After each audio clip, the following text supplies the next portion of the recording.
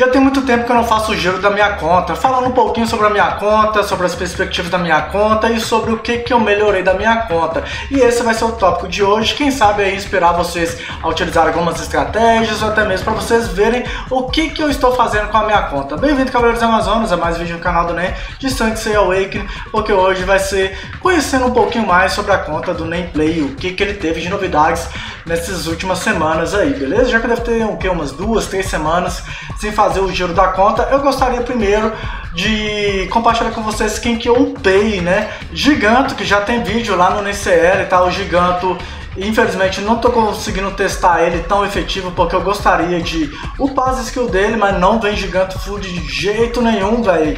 E eu gostaria de ver o potencial de dano dele. Tudo um, ele não tem dano, ele não cura, ele não faz nada. Então, quando o gigante tiver mais bem upado, sair umas cópias dele, eu trago um vídeo já com o review do Giganto mais bonitinho, né? Mas infelizmente ele tá só level 80 e é isso, né? Pra quem quiser ver o vídeo dele, eu vou deixar indicado nos cards o primeiro vídeo que eu trouxe com o Giganto. Na verdade tem dois vídeos, tanto do Wiki Divino quanto do Giganto, né? As formações bem parecidas, já que eu fiz na mesma live esse corte que eu coloquei lá no NCL. Em seguida eu upei a Tex de Sereia, ainda não fiz a live dela, né? Eu tô querendo abrir meus cosmos, vou começar a abrir meus cosmos a esses dias e tentar pesquisar duplo speed, porque se ela não tiver muito speed, ela vai perder bastante efetividade, já começando que ela já não é uma das personagens mais rápidas do jogo. Aí eu quero ver como ela se comporta no meta, fazer uma live dela e depois trazer uma review aí do que, eu achei de jogar com ela em uma live inteira, tá?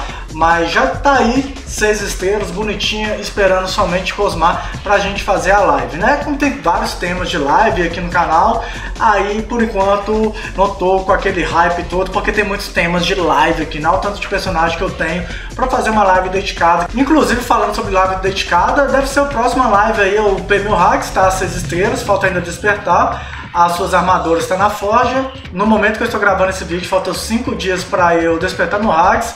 Então na semana seguinte a esse vídeo, eu farei uma live jogando com o meu Hags 1-2-1-2. Eu pretendo jogar com ele 1-2-1-2 e vamos ver o que, que vai acontecer com o Hags flopadão desse jeito. Pode dar muita zica? Pode dar muita zica, mas a gente vai ver o que, que acontece. E se perder, não faz mal, a gente não liga se perder, né? O importante é o entretenimento com vocês vendo eu apanhando no PVP. Eu despertei também o meu Arashi, que ele tá 1-2-2, não pretendo gastar livros nele no momento. No dia que eu ficar com bastante estoque de gemas avançadas, eu pretendo fazer umas trocas de volume de habilidade dele, né? Que vai ficar bem mais econômico. Eu não pretendo gastar livro azul nele, não. Eu gastei um livro azul só, só para brincar mesmo. O dano dele fica bem ruim na, com essa passiva aqui nível 2, porque é uma diferença bem grande, aumentar 18% para 108%, né? Então ele praticamente, ele na rodada 2, que você vê aí o Arashi que dando aí os três tapas, ele permanece com aquele dano na terceira, quarta, quinta, sexta rodada. E para quem enfrenta que sabe que tipo na rodada 4, rodada 5, se o Arashi que dá 3 ataques, ele limpa o oponente inteiro, né? Já que ele vai dar tipo como se fosse 6 ataques com o dobro do dano que ele vai ter. É muita coisa que ele perde se você não upar essa passiva dele aqui, mais do que esse dano aqui. Enfim, o Arashi que por enquanto ele vai ficar engavetado, às vezes dá para jogar com ele, né, para brincar mesmo, mas ele perde bastante potencial com essa passiva dele não bufada, né, não aumentada, melhor dizendo. Esses foram meus novos 6 estrelas da minha conta, mas eu upei dois 5 estrelas aí. Um eu fiz para brincar, né, que seria que a armadura dos mortos. Eu fiz uma live que eu apanhei pra caramba, ela errava pra caramba também. Tá aqui, ó. O P sétimo sentido, oitavo sentido, tudo. E tá aí. Quem sabe eu faço uma nova live com ele também. Eu fiz para brincar, para engolir o Thanatos mas eu pretendo fazer de novo isso para brincar alguma vez em, em live com vocês com a armadura, mas só para diversão mesmo que eu upei a armadura. Agora, outro que tá 5 estrelas e quem sabe um dia vira 6 estrelas é o Kaasa, tá? Mas a minha estratégia de o Kaasa é referente ao ataque da Legião. Porque o Titã ele usa um Seiya de Pegasus. Eu copio o Seiya de Pegasus com Kaasa e uso o meu Seiya de Pegasus no boss de dimensão, né? Eu já tenho meus três times de ataque da Legião lá no NCL. Se você quiser ver, eu vou deixar linkado a playlist de PVE lá do NCL, que são poucos vídeos. Você poderá conferir os três chefes de ataque da Legião lá, que são um vídeo para cada chefe, tá certo? E vocês vão ver que no Titã lá eu uso o Seiya no Titã e eu substituí pelo nosso amigo Kaasa. E é isso aí, eu uso Kaasa atualmente para isso. Falta uma peça para despertar a armadura dele quando vir pronta. Eu passei para 6 estrelas e fazemos aí alguma live do Kaasa no canal. Mas no momento é isso que nós temos pro Kaasa. Isso foi referente a todos os personagens que eu upei. Agora vamos fazer um pouquinho de personagens que mudaram minhas perspectivas depois que eu peguei eles, comecei a testar, que vocês poderão entrar em reflexão depois de eu mencionar isso também. Mas antes que eu fale, não esqueça de deixar pro canal canal, deixando seu like, a sua inscrição e, se possível, compartilhar, beleza? Eu fiz duas lives, uma live foi do Ayakos, né, que eu, no dia que lançou o banner dele, né, desses seis personagens aí, e cara, eu não gostei do Ajax, mas aí eu fiz um vídeo, né, eu fiz um Namecast, né, o primeiro podcast aqui do canal, que deve chegar aí esse fim de semana, provavelmente, com o Cox do BR, que é o responsável pela dublagem do jogo aqui na versão do servidor global, né, BR, podemos dizer assim. Se você já tá vendo esse vídeo depois que ele foi postado, se eu tiver lembrado, eu deixarei nos comentários fixado ou nos cards, beleza? Mas vamos voltar aqui falando do Ajax. E conversando com o Cortes, Cortes falou que deixou ele bem upado, deixou essa skill aqui nível 5 e usei ele com o MM.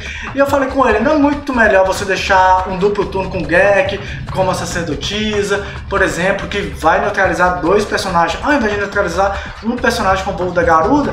Aí ele falou, é, pensando desse lado, sim, é mais interessante, porém tem vezes que eu elimino alguém com o voo da garuda, e aí eu pensei, é, eu não consigo eliminar ninguém porque 350% de dano não é um dano tão legal comparado a 520% de dano, né? Talvez com 3 voos da garota você já eliminou alguém com o Ayakos. E aí eu mudei minha perspectiva. O Ayakos ele se torna um personagem talvez mais interessante, porém ele vai ter que ter uma skill bem upada, né? Então se você está pensando em jogar com Ajax e você não está disposto a investir bastante livro nele, talvez ele seja um personagem não tão efetivo e talvez você não goste tanto dele igual eu não estou gostando. E se você tem um Ajax aí bem upado, talvez você goste da versão do Cox, né? Porque o Cox tem aí uma versão dele bem upada e a perspectiva dele é totalmente diferente da minha. Eu tinha citado isso quando eu fiz a review dele antes dele ser lançado aqui no servidor global, que eu falei um resuminho do que eu achava do Lune, Faraó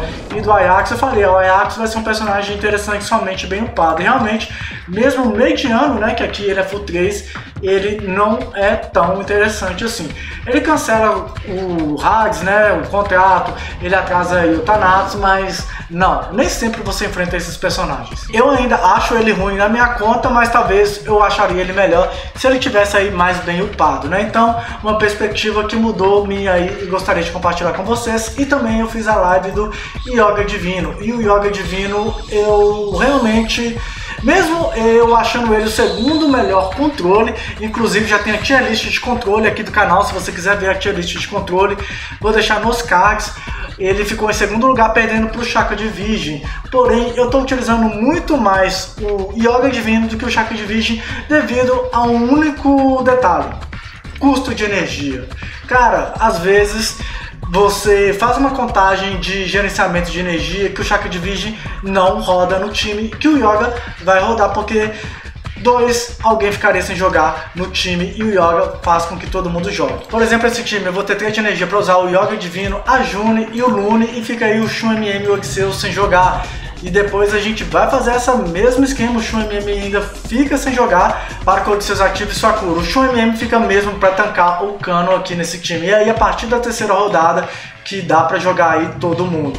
E se eu usasse o Chakra Virgem, eu teria que neutralizar duas jogadas. Tanto ele ficaria na jogada do Yoga Divino, mas eu teria que neutralizar uma jogada ou da June ou do Lune. Então, o Yoga Divino, pela redução de custo de energia dele, ele fica mais viável em várias formações. Mesmo o Chaco de Vídeo tendo um controle muito mais foda de múltiplos alvos, o Yoga Divino fica muito mais versátil em incluí-lo na formação por custar 1 de energia a menos. Atualmente nesse bando eu tô dando 10 tiros diário, né? Eu até troquei aqui para ver se eu coleto alguns fragmentos, até mesmo do Hags, que eu vou precisar de 15 fragmentos dele para despertar que a galera não tá doando na Legião, gente. Ninguém quer doar fragmentos do Hags. Eu vou precisar coletar 15 fragmentos do Hags para eu despertar a armadura dele e quem sabe eu tenha a sorte de pegar algum desses três aqui. Mas esse aí não seria o foco, eu tô dando 60 tiros aqui na semana para eu não prejudicar totalmente as minhas gemas avançadas, que eu tenho um pouquinho mais de 600 gemas, para eu pegar o Xion de Sapures, então as minhas gemas já tá aí pro Xion de Sapures. Caso ele venha aí com 400 gemas, vai sobrar umas 300, eu acredito, na semana dele, no final, e eu possa correr atrás para tentar rodar o gatinho com 500 ou 660, mês que vem se flopar nas vocações do Xion de Sapures e eu não ficar tão prejudicado no gatilho da fortuna. E agora eu vou falar um pouquinho de despertar armadura na minha conta, nas minhas perspectivas e o que, que, eu pretendo fazer de despertar armadura da minha conta. Mas antes eu gostaria de reforçar um vídeo né, que o nosso parceiro do canal Boxat fez uma entrevista comigo. Se vocês quiserem ver essa entrevista, vou deixar nos cards e no comentário fixado também. Acessem lá o canal dele, caso vocês não conheçam. Gostariam de ver também o meu bate-papo, uma entrevista respondendo aí perguntas bem aleatórias que ele selecionou para mim. Ver um vídeo onde eu participo bem diferente do tradicional. Cola lá no canal do Boxsite para você ter mais um bônus comigo também, beleza? Agora falando sobre despertar a armadura. É, referente à poeira, eu tenho o suficiente para pegar duas, três peças do Poseidon bom, tá? Que é 6 mil, eu tenho que converter em poeira divina, né? E tal. E aqui eu tenho mais 200, então eu tenho aproximadamente 3 peças aí do Poseidon, mais uma garantida. Eu tenho que correr atrás ainda para pegar as duas últimas pendentes. Eu ainda não abri o baú no momento que eu estou gravando esse vídeo. Tá aqui 6 armaduras do Poseidon para eu abrir, né? Mas eu tô esperando ver se parece algum evento, sei lá. E devido a isso, eu vou ter que skipar vários personagens que eu gostaria de upar, inclusive alguns que vão vir aí pro servidor global. Referente ao Ser Divino, Wiki Divino, Radamantes e Krishna. Desses quatro que estão por vir, eu gostaria do Krishna e do Radamantes, porque o Krishna vai dar uma mecânica bem diferente, eu não sei tão efetivo ele vai ser no meta do PVP, já que a gente nem vê ele no PVP, mas gostaria de ver a efetividade do debuff dele, se faz alguma diferença ou não, e é isso, né? O Krishna acho que é mais empolgação mesmo. Vamos ver como é que vai ser, já que o Xion, por exemplo, eu vou dar uma esquipada nele no momento. E referente ao Radamanx, eu acho que ele vai ser uma excelente opção. Lembrando que todos esses que estão para vir, eu acho que fica como Tier 2 e Tier 3, tá? Nenhum vai se tornar metagame que você tenha que ter prioritariamente na sua conta. Caso você tenha interesse, link nos cards de tier list do servidor global de Despertar Armadura. Caso você gostaria de ver mais ou menos a opinião da galera que eu fiz em live, a tier list, beleza? E lá você vai conhecer todos Tier 1, inclusive o Poseidon, eu colocaria ele como Tier 2 também. E a maioria desses outros personagens que vão vir, Tier 2 e Tier 3. Mas o Radamantes ele vai ter um diferencial. E personagens custo zero são personagens que você tem que ter bastante atenção, porque são eles que fazem com que você tenha uma sinergia de gerenciamento de energia bem melhor na sua formação. Então, às vezes, é, será mais interessante você colocar um Radamantes custo zero na sua formação do que um Saga de Gêmeos, do que um Aioria, do que um Shura, do que um Xion. Então, fica ligado aí nessa versatilidade do Radamantes. Ele seria o atacante que eu estou mais empolgado para conseguir despertar armadura, que já foram anunciados. Então é isso, Cavaleiros Amazonas, esse foi o vídeo de hoje, espero muito que vocês tenham curtido a vibe do Giro da Conta, comenta aí o que vocês gostariam mais de ouvir sobre o Giro da Conta, para eu trazer como temática também nos próximos vídeos dessa série. Não esqueça de conferir os vídeos linkados nos cards, nos comentários fixados também, e claro, tem esses aí na tela. Nos vemos no próximo vídeo, valeu e fui!